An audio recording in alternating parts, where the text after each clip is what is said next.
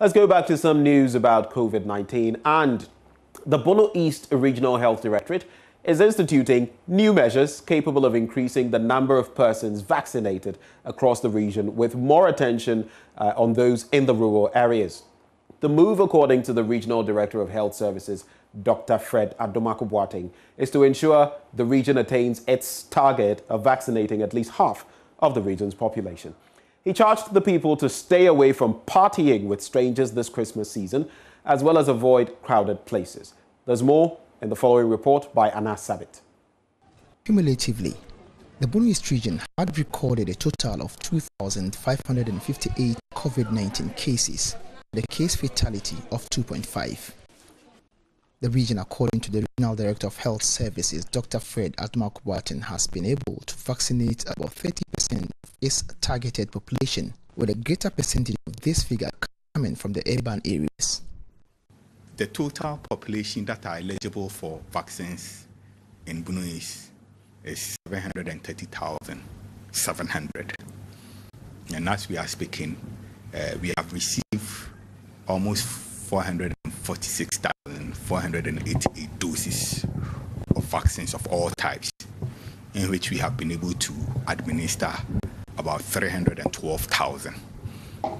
So if you look at those who have gotten the first, their first dose, dose, it's almost about 30%.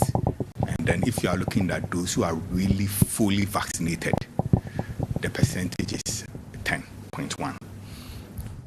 If you look at Techiman Municipal, you look at Kintampo North and Nkoranza, so those were our epi centers for the region.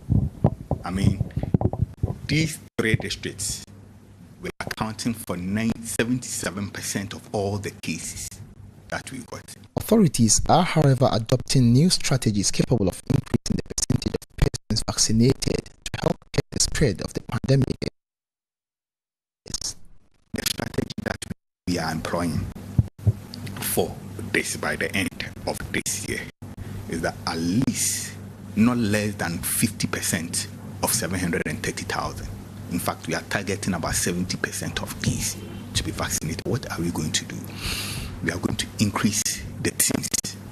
Apart from the static areas that we have, we are going to ensure that we form a lot of teams so that they, we can do mobile outreaches. And mind you, these are also running setting. They wake up early in the morning, go to their farms, and also do other things, come to the major cities to trade and then they go back. How do we manage to meet them? So one meant to be different. That is what we are looking at, apart from the static areas that everybody in the district they know. Dr. Fred Adomako Boateng charged the people of the region to avoid crowded areas this festive season and adhere strictly to the laid down protocols to avoid surge after the Yuletide this Christmas, if the person is not your close relative, you are not staying, don't party with that person. No. You we have to limit numbers. And then we have to avoid what? Crowded areas. Even if you are going to have all these activities,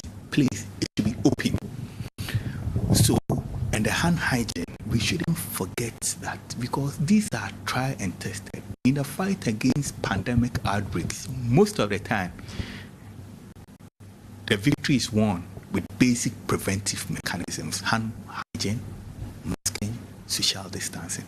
And these are the easy, easier and the low hanging fruits that we can pick. Reporting for Joy News, Anas Sabit, Kintampo.